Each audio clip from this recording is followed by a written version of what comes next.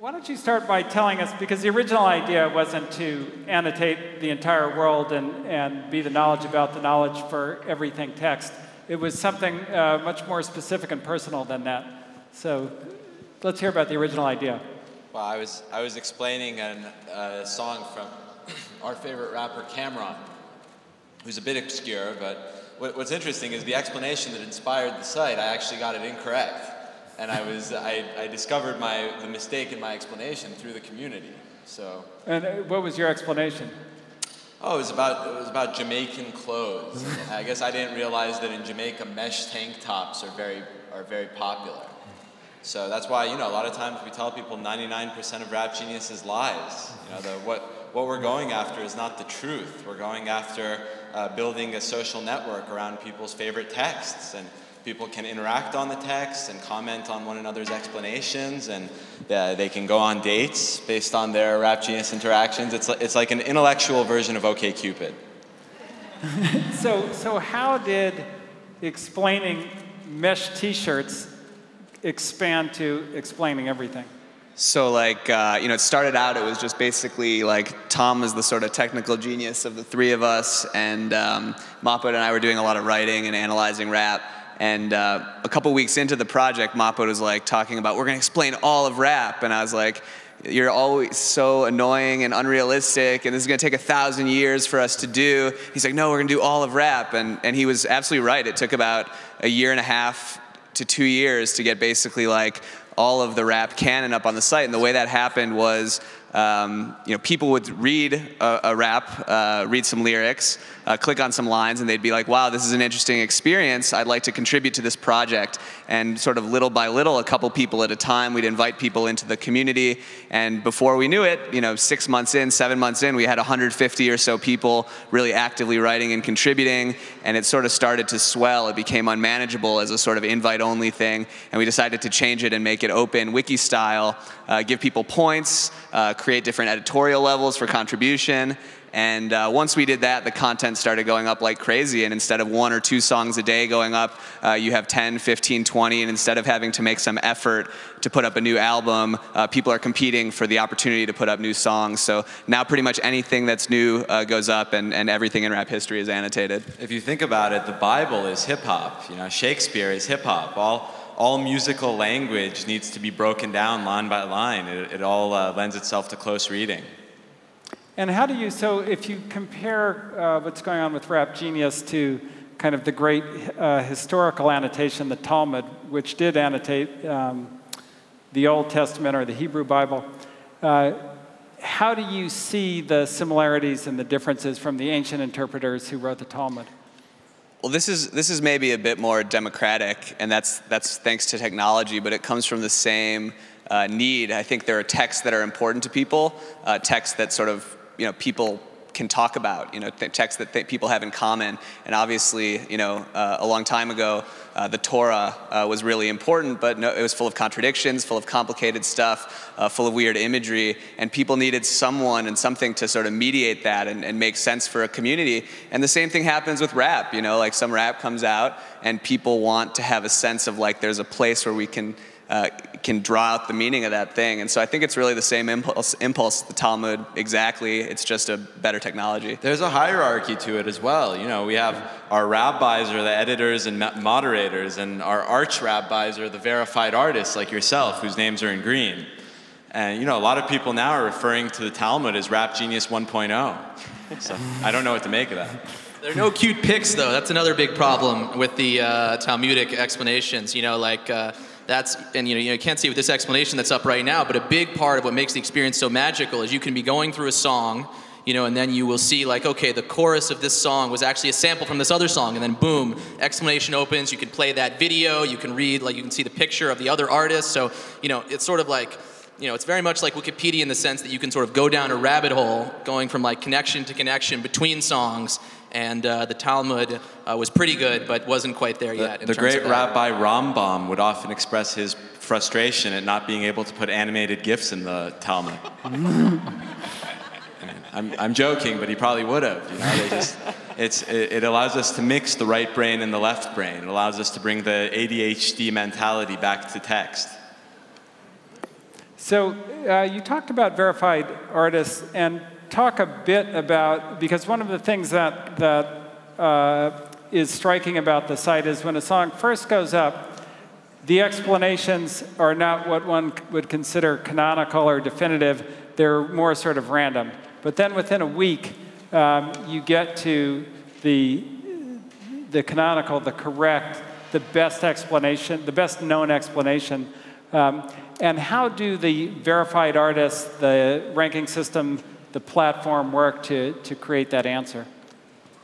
Well, th there's a couple questions in there. One is just how does it get better over time? And that's just this natural process of people visiting and seeing something's wrong and feeling that itch of I want to correct it. And also we have this communication infrastructure on the site. So if I go and leave an explanation on a line and someone else comes in and makes a comment or edits that, I'm going to be notified in real time. So I'll return to it and say, aha, that's good, or maybe that's bad, and I'll delete that. And that communication infrastructure leads to kind of improvement over time. Uh, the artist thing is, is very interesting because um, you know there are really only a couple things that artists use to talk to their fans, and they're, they're incredible, uh, and they've changed the way artists and, and people relate. And that's basically Twitter and Instagram. And we are sneaking in and becoming the third thing there every major rap artist, almost, with the exception of a couple, uh, has a verified account where they come in and they analyze their lyrics and they interact with fans and they reach their top fans. And what's interesting about Rap Genius versus Twitter and Instagram is uh, uh, Instagram and Twitter are not really writing on the wall of history.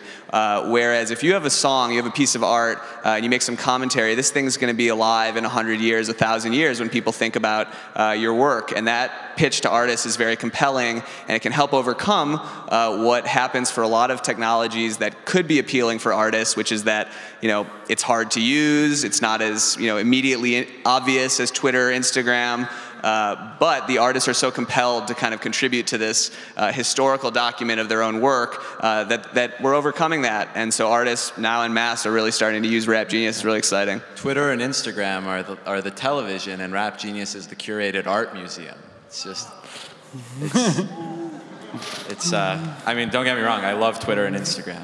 The art museum with points, though, you know, like I like, it's important to have both sides of it. You need to have the wall of history spiritual pitch, but there's also a very big aspect, which is just like, where are my points? And I want more points, give me more points. And so, like, that is a big part of the way Rap Genius works. You know, if you do a good explanation, you, you know, you moderate the site well, you delete bad stuff, you, you improve other explanations, you will literally get points. And, you know, like, Mahbod is, is very much uh, the more spiritual side, represents the more spiritual side. He's always telling contributors, like, you know, Rap IQ is just a metaphor. It's really about the wall of history. And I'm always telling people, get more points. You got to get more points. So also, need that interplay. People are using Rap IQ like Bitcoin now. Like online, people are using it to trade for, for you know, drugs and things like that. So. I'm joking. It's a joke. It's a joke. It's just a metaphor. Rap IQ is just a metaphor. Yeah. Uh, I'm glad you explained that as a joke. Um, so, you know, you kid about the Bible, but the Bible, of course, is like fundamentally important to so many people's lives, and they have such a deep emotional connection to it. And one of the really important things about the Talmud was that it actually enhanced that relationship. The people's relationship, the, the relationship that people had with the Bible was enhanced. You know, uh, an apple and a talking snake became original sin. And, and this is very important into the, the uh, respect with which the Talmud treated the text made it so powerful. And this is also true of uh, rap lyrics and poetry and, and, uh, and the other things on the site. And one of the things that, that really struck me about this is uh, a T.S. Eliot poem, The Road Not Taken, went up, which is my wife's favorite poem in the world. And she uh, was the valedictorian in her high school, and it was part of her high school speech. And so when it went up on Rap Genius, I thought, well, I hope that what is ever on Rap Genius doesn't detract from that experience and doesn't detract from that relationship, but enhances it. And uh, the great thing was that it did. And how do you go about uh, with the guidelines, with how you uh, run the site, to make sure that when people go to experience the works that they love and really influence their lives, that that experience uh, doesn't make things worse, but makes it better? Well, we have, uh, we have some tools built on the site that help people who are passionate about it and people who are intelligent become good moderators of the content. So uh, the very, very top moderators have like a big red button we can press, which if we find a user who's leaving a lot of bad explanations, we can just nuke that user completely uh, and their contributions are gone. Uh, so that gets rid of a lot of bad stuff. But the, but the primary thing is, uh, is starting with us and then the few people who uh, were invited at first. Uh, there are moderators, there are editors, and there are regular contributors, and they can all do different things with one another. and we try to communicate as best we can through a set of guidelines, but also through just informal communication and sending messages and feedback, uh, what kind of stuff you're supposed to encourage and discourage. Uh, and it's really just community police. You know, the people who are passionate about uh, tending to the, to the garden of Rap Genius are really passionate about it, and they, they do most of the work. And that a lot of that comes from Mahbod at the top. I gotta say, Ms. Horowitz, I beg you, you have to get a verified Rap Genius account. I'm asking you at DLD, you gotta explain the road not taken. Also, I'm sure you can you can shed a lot of uh, light on Ben's blog posts. You know. also, you know, it's, it's just it's it's how do you attract the right people to the right text? You know, like you, it needs to be explained by someone who you know is is, is an expert, someone who's got the passion, rather than someone who's just like driving by. And so that's like it's baked into our whole like product design philosophy, you know, because if you like visit the site for the first time, you know, you might think like, oh, there's some rough edges on here, like, you know, why isn't this like a flashier design? And you know, a lot of that stuff's coming and we want to perfect that. But the reason is that we spent all our energy trying to optimize the experience for the people who are creating the content. And so once you log in and go inside the whale, then you see a whole different world of things popping and moving around. And so, like, that is what you have to do if you are building a crowdsourced website. Like, you can't optimize for the first time use of a drive by user, even though you want that to be good. You've got to just spend all your time massaging the feet of the people who are passionate about the texts. So, we talk a lot about, you know, things like Wikipedia being the knowledge, and then Rap Genius containing the knowledge about the knowledge. Talk a little, if you can, about what is the importance, as you see it, of the knowledge about the knowledge, kind of both on current works and historical works? Well, you know, the, the philosophy, we, all, we were all friends at Yale.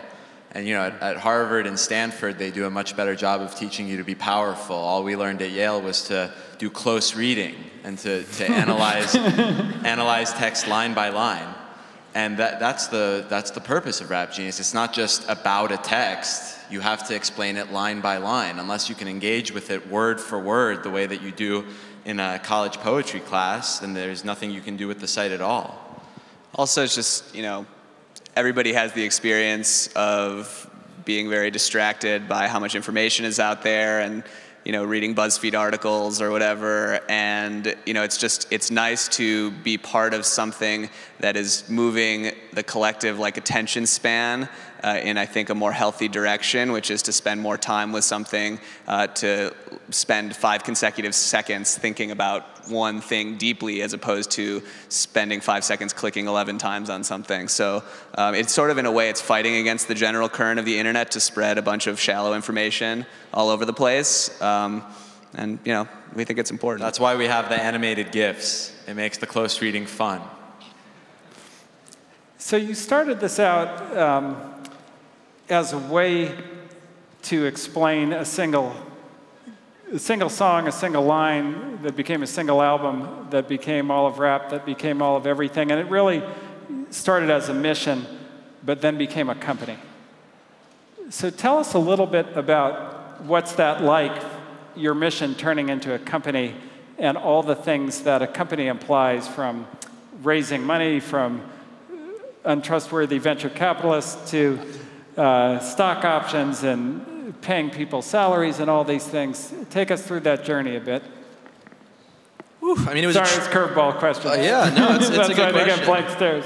I mean, for me, it was it was it's, it's a crazy. It messes with your head, you know, because like we we things really started to take off for Rap Genius, the company, when we did Y Combinator in the summer of 2011, which was you know just pouring gasoline on the whole situation. And so like it was just the bizarre experience because by the end of Y Combinator, we were all very excited about our prospects. We had a bunch of investors who were very excited. But like from my perspective, like I was just thinking nothing has changed from four months ago. The site is the same. You know, the concept's the same. The site has gotten better, of course, but like the fundamental juice behind the site you know, is the same. And yet, four months ago, the world, you know, qua, did not really care about Rap Genius qua business. So like, it was just a bizarre experience to go from like, you know, the world doesn't care about you, doesn't care about your site, and you're kind of fine with that. And then it's basically the same site, and now people are starting to, you know, give you all this money, and uh, it was great. It was crazy. And Ben, you're the you're the godfather of rap genius. You know, we don't just consider you a Uncle Moneybags. You're you're you're a spiritual force behind the site, and I think that's part of why we've blown up so huge, and, and it contributes to our success. I mean, at this point, you, you have more rap IQ than Max Herre, who's one of the biggest German rappers. But Yeah, I'm I not as good a rapper. It's just, you know, it's, uh, in some ways it's an amazing learning experience to do the company thing. In some ways it's kind of a tragic experience because you can't always uh, dwell in the mission type emotion and, um, and motivation and action. You know, you can't, you can't do that because you've got to sort the stock options out. And that sometimes feels kind of tragic, but also there's just some truth to the way that money is the lifeblood of some of this energy. Uh, and we can get more people involved. And, you know, if we didn't have, you know, and it's also kind of tragic, but if we didn't have the money, we wouldn't be able to have all these wonderful uh, young collaborators uh, that we're working with who are brilliant technically, brilliant uh, in, in the spiritual sense. And so you sort of take some of that on, uh, the stock options, et cetera, so that you can have all these collaborators. Okay, final question, another curveball. Uh, if you could each give us one line on Rap Genius and explanation uh, that you're very proud of, happy about, interested in. Uh, the, the one that comes to, to mind is uh, Gucci Mane says that rock star lifestyle might don't make it. And you know, he's basically saying that it's like Thrasymachus' statement in uh, Plato's Republic, where he says, you know, perhaps might does make right. of course, it's linked back to the Republic now, which is also now being explained on Rap Genius. Awesome. Uh, I, uh, uh, I'll also give another Gucci Mane line where he says, um, uh, what is it? It's um, uh, back to the basic, party on the bracelet, mill full of ice in these player haters' faces, mill full of ice, Gucci Mane, good gracious, got a sick flow when I think of contagious. It's just a great line about not listening to haters and just um, you know throwing your ice in their face, and uh, you know it's it's tough because like once you uh, sort of you know it's it's in, in the beginning no one cares about you, and also you don't have any haters, but then you sort of get haters, and you just got to learn to love the haters. It's a And, uh, paraphrase of Lil Flip's "Big ups to all my haters." Uh, I think love them. Jesus said something similar to that as well. Love all of them. Just the only the only publication I can't get down with, even after all loving the haters, is the New York Times. I can't. They're the only one I have beef with, like at basic level. But everyone else I love. They're, just, they're Carlos Slim's hoe. I, I don't know. A bunch of lines are, are, are flying through my head. I don't know if there's anything in particular, but uh, DLD DLD flew us out here business class. You get to recline almost the entire way. Uh, almost just a little bit tilted, but so I was thinking of Soulja Boy says, uh, "So much money, I valley park my bicycle," and that's kind of how I feel about Ben and our recent come up. Uh, that we're just balling, you know. It's a lot of fun, but uh, keep it real. Juice, juice, juice. Thank you so much. We really appreciate being here.